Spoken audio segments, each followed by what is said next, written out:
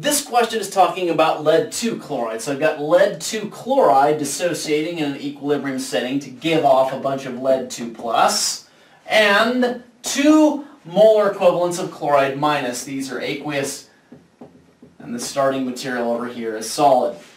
It tells me the molar solubility of this. Now that's interesting. And then it asks me to calculate KSP. KSP is of course expression-wise going to be equal to the concentration of lead 2 plus multiplied by the concentration of chloride minus squared. So I get the squared from this too. What are we going to do to solve this thing?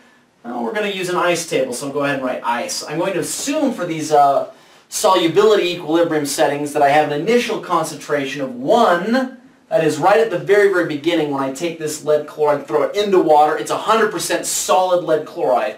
Gradually it will dissociate into this as we reach equilibrium, but right at the initiation it's 100%. So I just write 1 and 0 of these ions. Now here's the trick.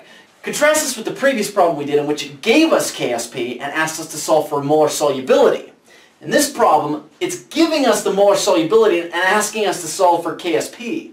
The molar solubility that it gives us, by the way, is 1.6 times 10 to the negative 2 molar. That solubility amount is the amount by which each of these increases as we reach equilibrium. So I'm going to write down 1.6 times 10 to the uh, negative 2 molar. That is the value for, uh, that is the molar solubility for lead.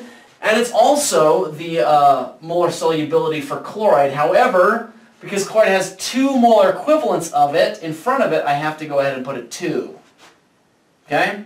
Now, because this is present in a 1 to 1 to 2 ratio, it also follows that the lead chloride is going to decrease by that same amount. So I'm going to have negative 1.6 times 10 to the negative 2 molar as being my change amount.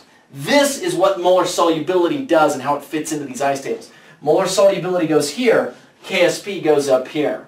Hopefully we can keep those straight. The final concentrations of each of these then is going to be 1 minus this number for uh, my lead chloride. It's going to be 0 plus this number, 1.6 times 10 to the negative 2. And it's going to be 0 plus 2 times this number. So that's going to be 3.2 times 10 to the negative 2 molar there.